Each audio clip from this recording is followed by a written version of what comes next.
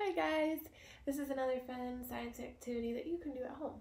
So the, the materials you'll need today are some food coloring, any color, um, a clear glass that's halfway filled with water.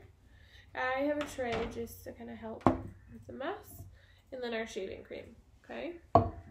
So today's experiment is shaving cream rain. We're gonna replicate a rain cloud and what happens um, when it lets out that rain. Okay, so the first step is to have our water in the glass. And we're going to take our shaving cream and we're going to fill up the rest of our cup.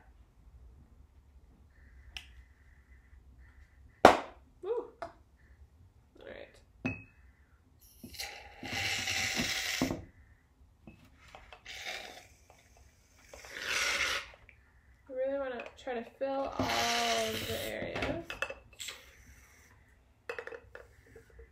Okay, so there's our cloud, all right?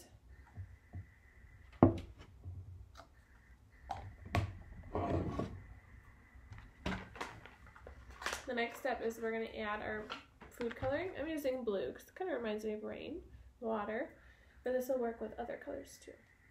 So what we're going to start to do is pour our food coloring on top. This is like the condensation in a rain cloud.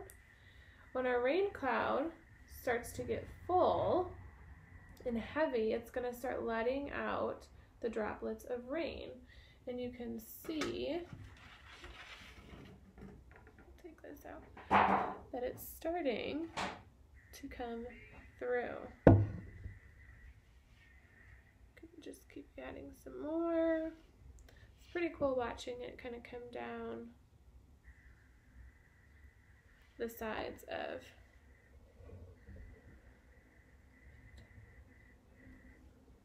you can see now it really turned our water down there blue but it did that because of the the shaving cream inside couldn't hold all of our food coloring, and then that's what let it out as our rain.